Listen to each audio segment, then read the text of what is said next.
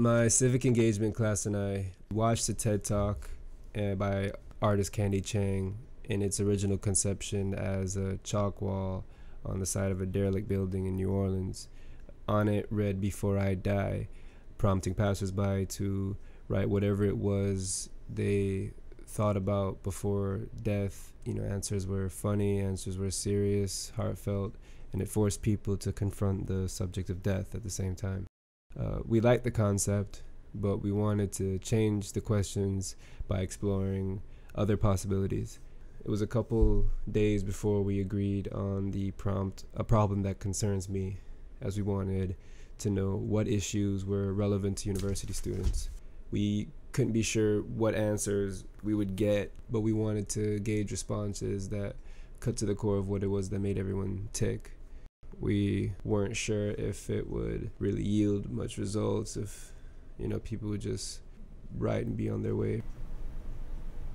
But yeah you could see that people just kind of wanted to be heard for a little bit even if they were just kind of silently going about their day.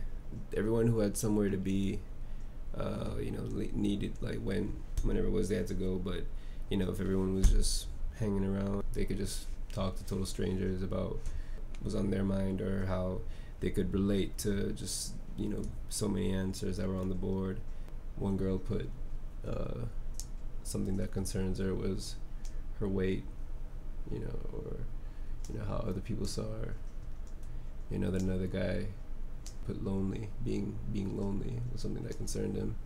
So it was like it was saying the openness in the discussion and even just the the intimacy of the answers, despite it being something personal.